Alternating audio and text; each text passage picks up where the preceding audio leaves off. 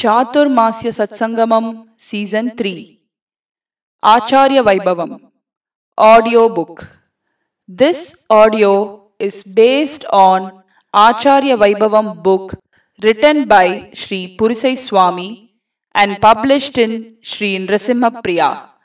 Both Tamil and English audiobooks are read and presented by Saran Sevaks. You can listen to this audiobook in Tamil in Sri APN Swami's YouTube channel.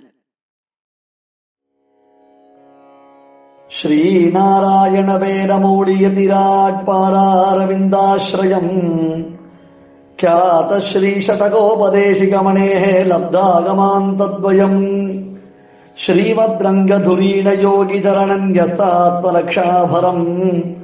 சேவே ஸ்ரீநிதியோகிவரியமனகம் நிர்பாத போதோதயம் ஸ்ரீவன் ஷடகோப ஸ்ரீ ஸ்ரீனிவாச தீந்திர மகாதேசிகன் முப்பத்தி ஆறாவது வட்டம் சின்ன பரந்தூர் அழகேசிங்கர் என்று இந்த அழகேசிங்கருக்கு திருநாமம்.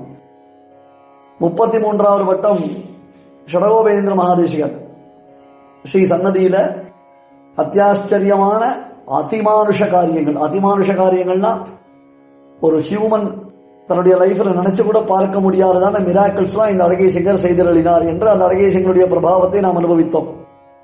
அவருடையதான பூர்வாசிரம திருத்தம்பியார் இந்த அழகிசிங்கர் சின்ன பரந்தூர் அழகிசிங்கர் என்பதாக அவருடைய திருநாமம்.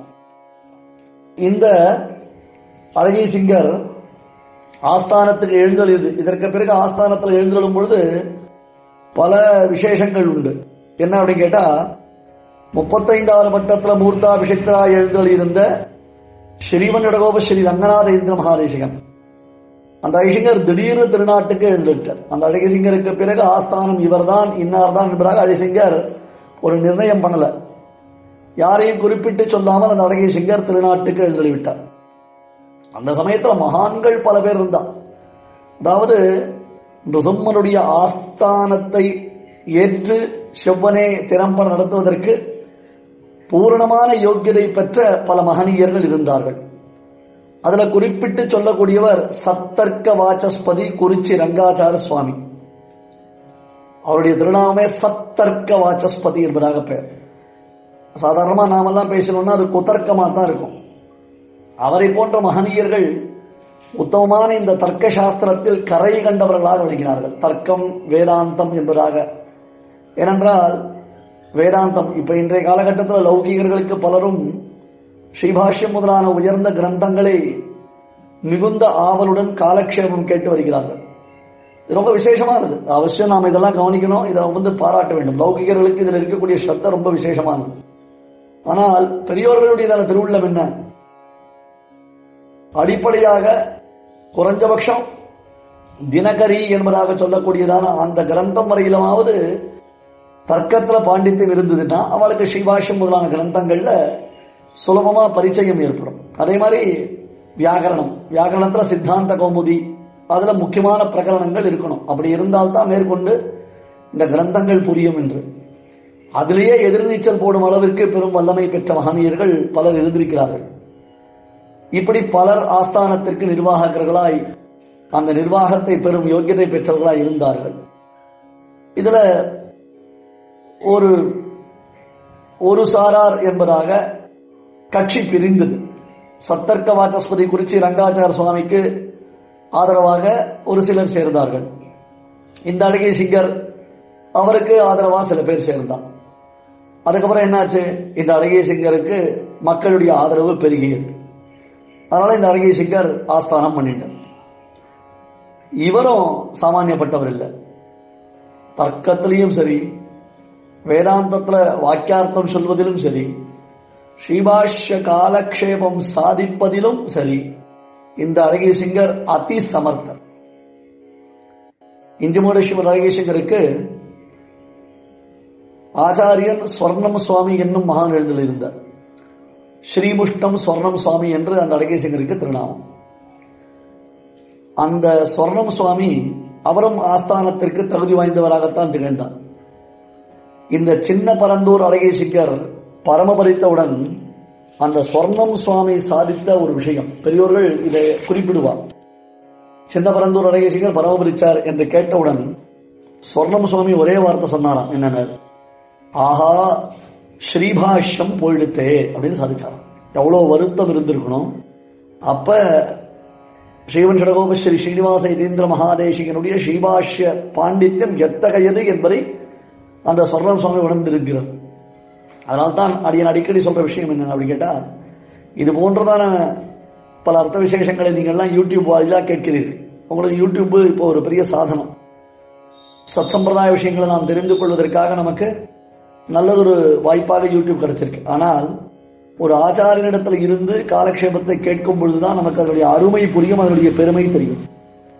சின்ன பரந்தூர் அழகேசிங்கர் என்னும் ஸ்ரீ ஸ்ரீனிவாசதீந்திர மகாதேசிகன் பரமபரித்த பொழுது சொர்ணம் சுவாமி மனமுருகி வருந்தி ஐயோ ஸ்ரீபாஷ்யம் போய்விட்டதே என்று அருளி செய்தார் என்றால் அந்த அழகேசங்கருடைய பாண்டித்யம் மேதாவிலாசம் எத்தகையதாய் இருந்திருக்கும். இன்னைக்கும் இந்த அழகேசங்கருடைய பிருந்தாவனம் பாதூர்ல இருக்கு. பாதூர்ல திருக்கோவில்ல பெருமாள் சன்னதியிலேயே இந்த அழகேசங்கருக்கு பிருந்தாவனம் அமைந்திருக்கிறது. பிரத்யக்ஷமாக கைமேல் கண்ட பலன் அப்படின்றாலும் இல்லையோ? அதுபோல இந்த அழகேசங்கருடைய பிருந்தாவனத்தில் சென்று பிரார்த்தனை செய்து கொள்பவர்களுக்கு அவர்கள் விரும்பும் பலன் அவர்கள் கைகளில் தவழுகிறது. அவ்வளவு வரப்பிரசாதியாக இந்த அழகேசங்கர் எழுந்திருக்க உளுந்தூர்பேட்டைக்கு முன்னாடி இருக்கக்கூடியதான ஒரு சிறு கிராமம் பாதூர் என்னும் கிராமம். இது முழுக்க முழுக்க ஸ்ரீ சங்கதி சிஷ்யர்கள் ஸ்ரீ சன்னதியினுடைய சச்சிஷ்யர்கள் நிறைந்திருக்கக்கூடிய ஒரு அழகிய அக்ரஹாரம் இந்த அக்ரஹாரம். இந்த அக்ரஹாரத்துல அழகியதான ஒரு பெருமாள் சன்னதி இருக்கு. அந்த பெருமாள் சன்னதிக்குள்ளேயே இந்த அழகேசங்கருக்கு ஒரு பிருந்தாவனம் அமைந்திருக்கிறது. அந்த பிருந்தாவனத்தினுடைய மேன்மை நம்ம போல சாமானியர்கள் வாய் திறந்து சொல்லிட முடியாது. அவ்வளவு பெருமை அந்த பிருந்தாவனத்துக்கு. அந்த அழகேசிங்கருடைய பிருந்தாவனத்தில் இன்னைக்கும் பக்தர்கள் போய் பிரார்த்தனை பண்ணிக்கிறார்.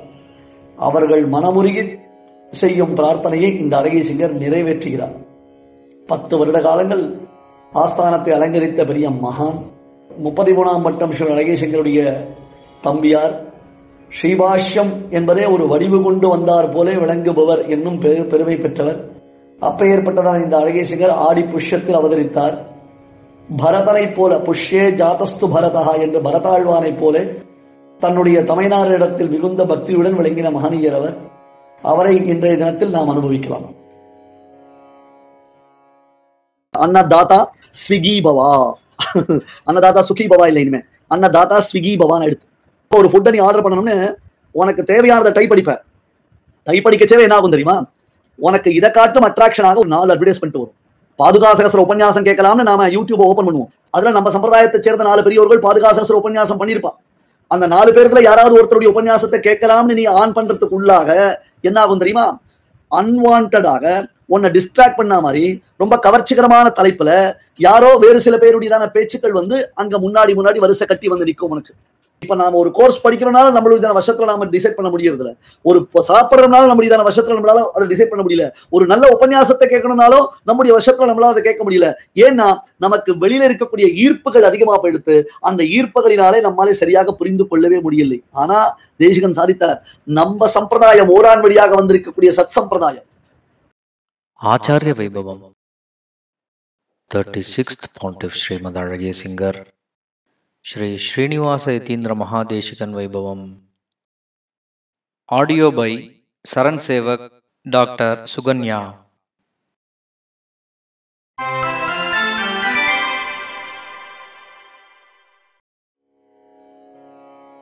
Namaskaram everyone. Today we are going to listen to the Vaibhavam of the 36th pontiff of the Sri Ahobila Matham, Sri Srinivasa Yatindra Mahadeshikan. The avataram of this Saragya singer was in the Agraharam of Parandur in the Kanchipuram region in the month of Adi when Pushya Nakshatram was in ascendance.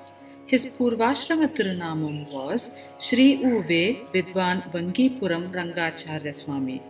He ascended the Simhasanam of the Sri Sannidhi in the year Sarvadhari, month of Adi 31st, when Swati Nakshatram was in ascendance, which corresponds to 13th of August 1888.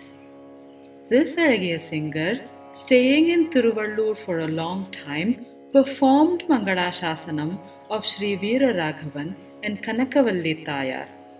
He also rendered Kalakshepam on many granthams. He travelled to Sri Perumbudur and performed Mangalashasanam to Emperumanar. He then went on Sancharam to Kanchipuram Perumal Koil, Madhurantakam, Tiruvahindrapuram, Turukudandai, Pullambudangudi, Adanur, and other Divyadeshams and had his Mangala Shasanam of the Emperumans and arrived in Sri Rangam. He performed Mangala Shasanam to Sri Ranganathan and Sri Ranganachiyar and the Dashavatara Perumal. He stayed in Srirangam for a few days and then travelled to Panchamadevi and Sundapalayam Agraharams near Srirangam. There, he rendered Kalakshepam on Srivhasha Granthams to his disciples. This Arage singer was the younger brother of the famous Sri Satakopa Yatindra Mahadeshikan, the 33rd pontiff. He was an acknowledged expert in presenting Tarkam in Vedantarthams. His discourses on the Srivhashyam used to be of the highest level of clarity. His expertise of the Srivhashyam was so great that when he attained Paramapadam, Sri Swarnam Krishnamacharya Swami, known popularly as Sri Mushnam Swami, reportedly remarked, Srivhashyam has departed. The previous pontiff, Kalatur Sri Aragya Singer, suddenly ascended to Paramapadam without assigning anyone to succeed him.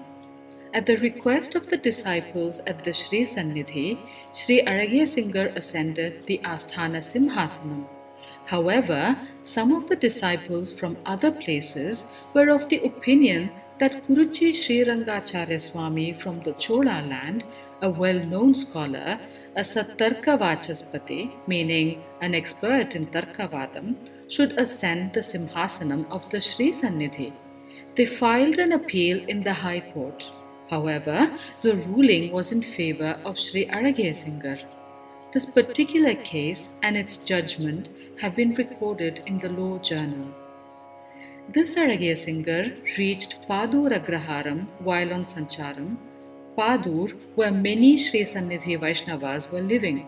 He fell ill there and ascended to Paramapadam on Tuesday 14th of the month of Margari in the year Vilambi Paurnami Tithi when Mrigashirsha Nakshatram was in ascendance, which roughly corresponds to the 27th of December 1898. His Brindavanam is situated in the western prakaram of the Padur temple. The Vigraha Pratishtha was done there by the 40th Pattam Aragya Singer. The people of the village say that the prayers made at the Vrindavanam of this Aragya Singer get fulfilled.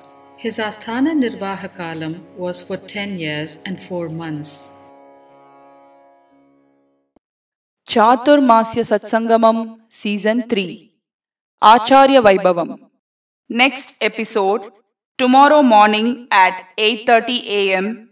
in Sri APN Swami's YouTube channel.